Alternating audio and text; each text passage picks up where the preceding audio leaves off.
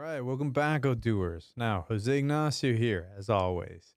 Now, after we set up our marketing automation campaign, it's time to automate some activities. Now, setting up automated activities frees up a ton of time that would have otherwise been spent on manual, repetitive tasks.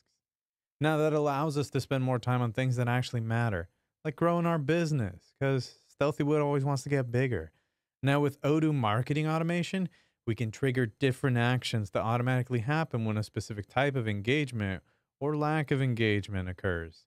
Now, this is important because with properly configured automation, we can ensure that we always reach out to the right customers at the right time without bombarding them with unwanted messages to the point of being annoyed. Looking at you, spam.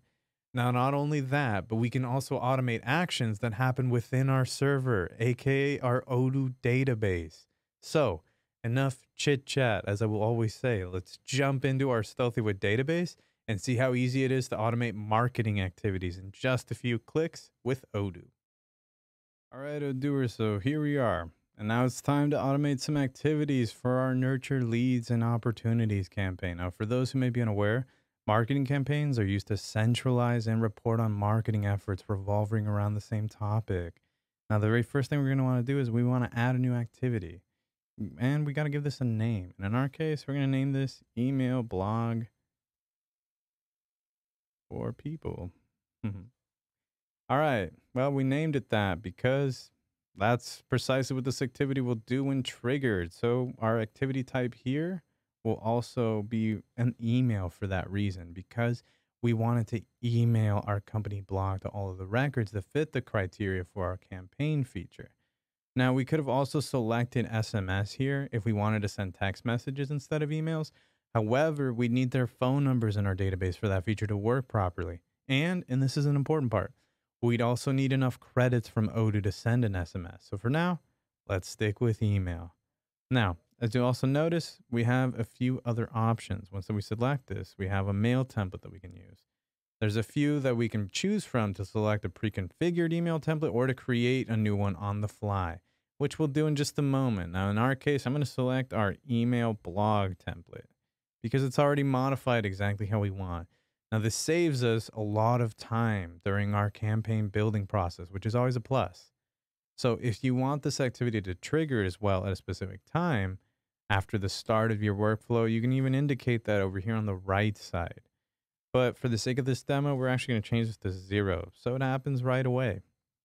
Now, if like say for instance, we have a time sensitive campaign or an upcoming event, and I can actually select this expiry duration box right here by checking it to ensure that this activity will stop being triggered after a certain date.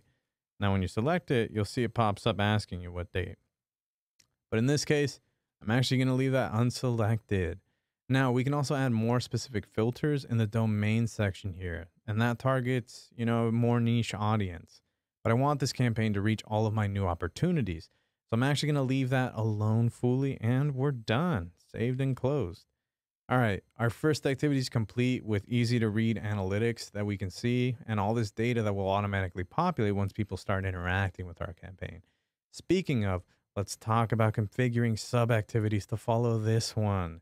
These are referred to as child activities, and they will only be triggered depending on the participant's reaction to our previous campaign activity. Now, Let's create one. So actually, you'll notice when you hover over child activity, there's a lot of options. Now, these are specified and very specific to the activities that will be triggered once that somebody interacts with the previous campaign activity in one way or another. This means you can technically automate an action to happen if they open, don't open, reply, don't reply, click, don't click, or it bounces. Now, you can also simply choose, and I skipped it, for a reason. To add another activity here on the far left, which is what we're going to be choosing to speed this workflow along. Now, so while we could make a child activity to let's say occur every time this initial email is opened or clicked, we're going to save ourselves some time and select add another activity for that reason. Now we need a name for this. In this case, email promotion code. Just because that's what this is going to be for. So in our case, this one is also going to be an email for the activity type. And actually, I think, you know what? Let's do it. Let's create a new mail template right now. So in here, email discount code. Now you'll notice when you do that and it doesn't exist, it gives you the option to create an edit. And in our case, we're going to do that. I'm going to select this VIP one. We don't do free shipping. You know what? We'll do free shipping. Exclusive deals for Stealthy Wood. Give it a personal touch. $100 is too much. $1 off. VIP members are cool. All right, this looks good. Everything looks fine except that. It's 1, not 10. Perfect. Now we can save and close and we have our new template. Now at this point in the process, we could have this child activity sent, as you can see over here, one hour, but we can also select one day, week, months, and you can actually type up here. But in our case, you know, so that we can stay in communication with our opportunities without annoying them with too many messages at once, we're also going to select an option that won't annoy them. But for the sake of how this flow works, we're actually going to select zero hours again here. Oops. Little doopsie, accidentally clicked back in there, and now it looks like we have to do this again. But as you'll notice, I can actually do this very quickly. Now we're back over here. And there it is. And wasn't that dandy? Very quickly, we reached us all the way back over here. Now, just so that you can see how everything is working, we're going to continue using zero hours after. And as you'll notice, when we selected it to be this mail template, we can actually select it to happen after another activity. And in our case, we want this to trigger after a mail has been opened. And our mail being the blog. Now again, once that we finish this, save and close, You'll see all of the data connected to this activity right here, and you can tell it's a child activity because it's indented. And that's one of the easiest ways to see it. Now, Odoo makes it super easy to differentiate which is which, but activities don't always have to be forms of communication, as you've seen with both of these. They can be internal automations that happen in the back end of your business. These are known as server actions. Now you're asking yourselves, Jose, what are server actions? Well, oh, doers. Server actions are things that you can automate in the back end. And for instance, let's say that we want to create an activity that automatically moves an opportunity to the qualified stage. Well, we can actually do that with our pipeline.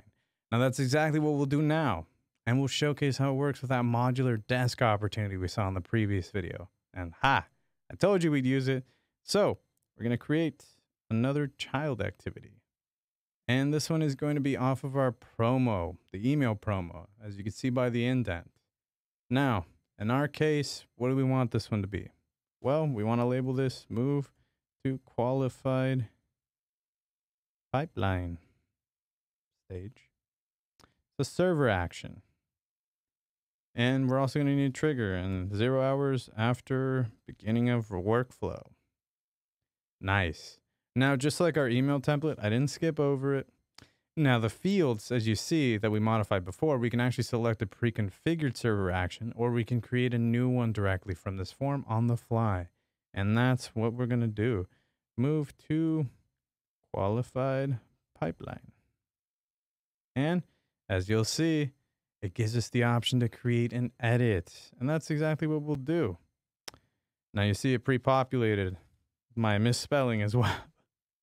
All right, now for this, the very first thing you want to select is a model. And in our case, this is going to be lead an opportunity. Our action to do, we want it to update a record because that's what we're doing. Now, the other thing that we can do is that we need to specify an activity filter down here in the data to write tab. Now we'll want to configure this domain equation to represent a lead moving to the qualified stage in our CRM app. So we're going to hit add a line and we need something for this. Now, the very first thing that we want to select is stage, CRM lead, and it's going to be a reference here. And then once that, that updates, should let us edit this. Sorry about that. Oh, wait, actually, sorry about that, Odooers. Our field here should be stage. And then we have that. And now it should let us. There we go. Small little doopsie wasn't allowing us to select this. Our record should be qualified. And then once that this is done, We can actually choose what we have here and we can actually save and close. And we're done. And there you have it. Now we can save and close again. And we have another one. Now, as you can see, setting up and automating activities for your marketing campaigns is easier than ever with the Odoo marketing automation application. Now that we've got all our activities set up for this campaign, it's time to test everything out before officially running it. So stay tuned, Odooers. That's all for now, but I'll see you in the next lesson.